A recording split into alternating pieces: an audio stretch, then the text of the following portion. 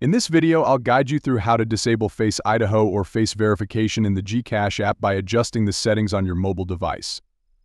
To turn off Face ID or Face Verification in the Gcash app, follow these simple steps. First, open the settings on your mobile device and navigate to the Security or Privacy section, where your device stores authentication methods such as passwords, fingerprints, or Face Unlock.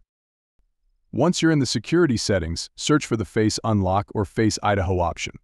If it is currently active, simply deactivate it by toggling the switch off. This will disable face recognition for all apps on your device, including Gcash. Next, go to the App Authorization or App Permissions section in your settings and find the Gcash app. Once you locate it, review the permissions and turn off face recognition or biometric settings for Gcash specifically. This will ensure that Gcash no longer uses face verification when you log in or perform transactions. By following these steps, you can successfully turn off Face ID for Gcash and prevent the app from using face recognition. If you found this video helpful, please subscribe, and I'll see you in the next one.